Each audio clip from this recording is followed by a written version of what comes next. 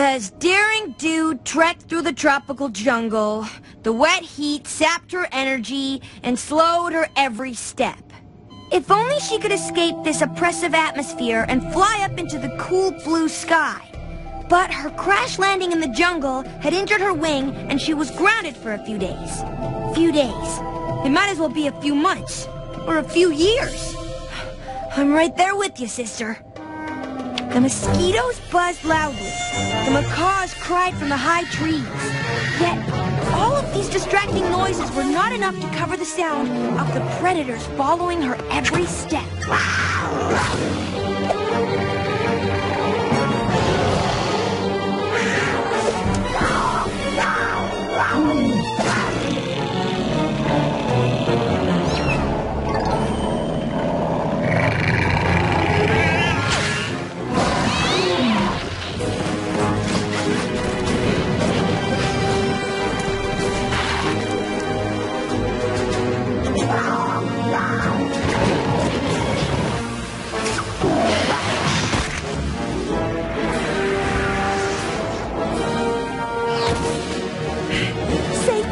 Landing on the other side, Daring finally allowed herself a moment to breathe.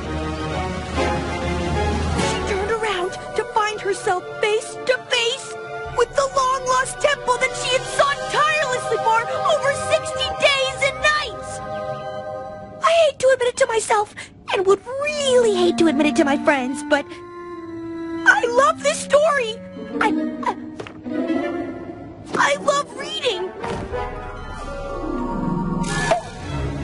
I'm an egghead.